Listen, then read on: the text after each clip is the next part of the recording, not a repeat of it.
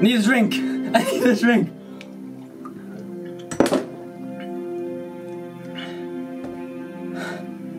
Oh man!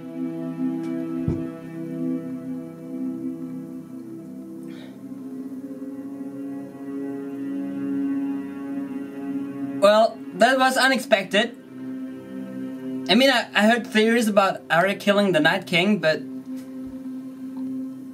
Wow. Thank the gods she had a Valyrian steel dagger.